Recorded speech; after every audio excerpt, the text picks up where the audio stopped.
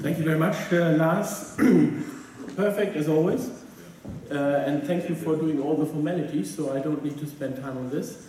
Um, well, it's only my second time attending this meeting, but uh, it is indeed the, the two times since the merger. And I remember very vividly last year um, that we had a very, not only very interesting and insightful conference, but also one which was all about uncertainty. I think this was more or less the key word last year, and I'm really uh, wondering whether this will be different this year, coming closer to IMO 20, so-called IMO 2020, or whether some of this uncertainty has been clarified. Personally, I think we will again talk about uncertainty quite a bit. Of course, we have uh, many other reasons, not only technical ones, not only ones related to the topic today, fuel and propulsion. We have, uh, at least from, a, from the side of technology providers, of shipbuilders, marine equipment, that my association is standing for, uh, we have a pretty poor situation in the market. Orders are down globally by roughly 40% compared to last year. Also output last year was about down, down by about 40% compared to the peak time. So it's um, quite a difficult period for the builders. There are many and deep challenges that are connected with this uncertainty all around the industry. And I sometimes feel that the technical questions, as complicated as they may be, are maybe the easiest to solve. I think the commercial challenges are even more complicated.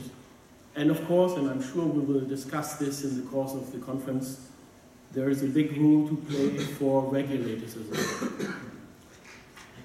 And talking about regulators, we have also one point that we need to look into. We had um, a couple of weeks ago, four weeks ago, the Global Shipbuilding Summit. It's called JECKU. It's uh, an abbreviation for Japan, Europe, China, Korea, USA. And it covers, I would say, the top 30 shipbuilding companies in the world. And this, this group, which of course has always a big difficulty coming to consensus, came out with a clear message. With all the overcapacity we have, with all the poor price levels that we have, it's very difficult to earn money. And if nobody earns money, how are we supposed to make all the investments that societies are asking for us? And that we have to do investments, I think there the consensus is really growing all around the world. We need to clean up, we need to do something about our ecological footprint. So with these uh, two short words, I'm really looking forward to some exciting sessions, uh, and I'm sure that we will all learn again a lot of uh, stuff that we didn't know before and of uh, options that arise, also some that will uh, be maybe not ready yet, but will come and will play a bigger role in the future. Last word, we have uh, just now, yesterday in fact, got the approval for the final, for the last commission candidate. So the European Commission um, will start its work probably on 1st of December.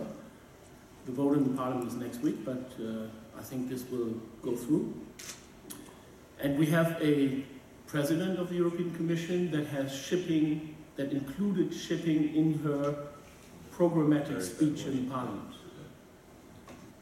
And I just wanted to make a, a word that make no mistake, this commission will push even harder that we do our job with regard to what society requests of us.